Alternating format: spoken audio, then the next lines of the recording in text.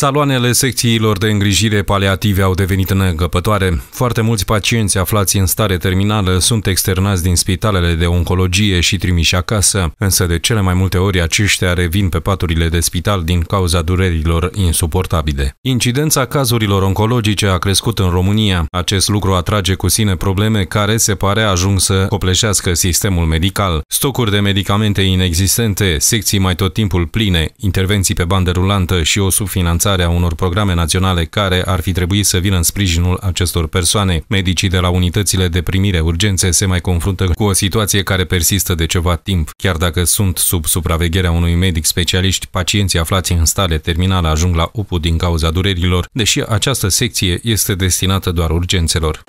Numărul extrem de mare al uh, pacienților cu afecțiuni oncologice grave Uh, cu complicații uh, se resimte și în cadrul prezentărilor din urgență.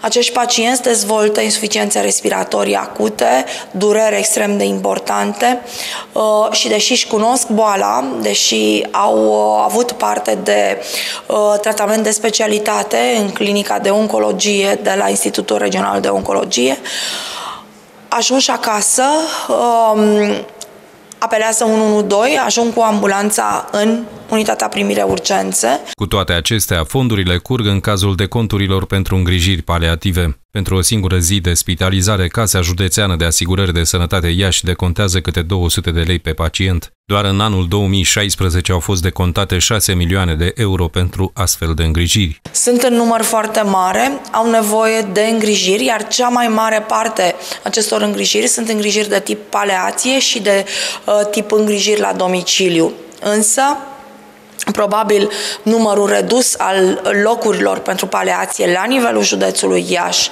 uh, și necesitatea de îngrijire permanentă a acestor pacienți, 24 de ore din 24, fac ca ei să ajungă foarte grav în urgență și să găsim foarte rar soluții pentru îngrijirile lor la domiciliu sau în servicii de îngrijire uh, paliativă. În prezent, în Iași există 5 clinici private și două de stat care oferă servicii medicale pe această specializare.